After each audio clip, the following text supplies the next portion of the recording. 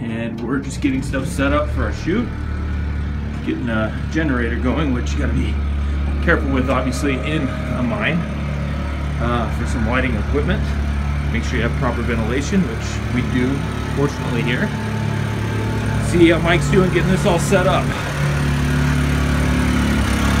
I am. When you're filming in a mine, you gotta have light, unfortunately. But we do. We got some light, thanks to Mike.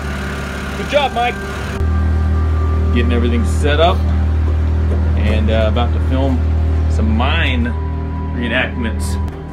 What's going on, Miner 49ers? You guys ready to do some reenactments in a in a mine shaft? Oh yeah, let's bust some rocks. Nice. We're all cocoed up and ready to go. so much cocoa. They're not gonna understand what that means. but, Is that a new street drug? Is that the slang? you guys on that cocoa?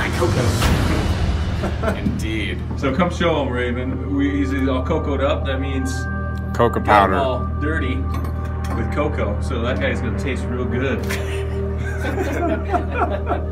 I'm a, t- I'm a tasty miner. You guys are just uh, waiting to be lit on fire here in the mine. How do you feel about that? How do you feel about dying in a mine fire today? You know, like you do. all good. All good. How about you, Josh? I'm gonna survive, so I'm not worried about it at all. Yeah, yeah, you're gonna you're gonna save the miners because Yeah. you're the you're the hero miner. Right. He's playing the hero dude. And action. lift us up where we belong,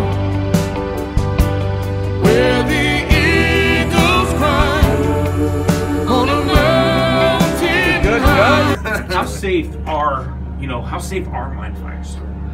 How safe You know, mine fires are pretty dangerous. On a scale of one to At eight. a- uh, one to eight, I'd say it's a nine.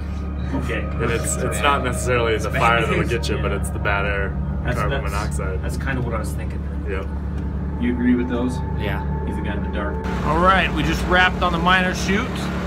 Getting this stuff taken down. We got some cool stuff. We'll show you some of it right now. All the golden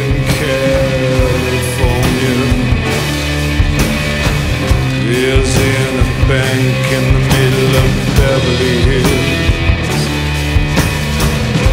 So if you're dreaming about California,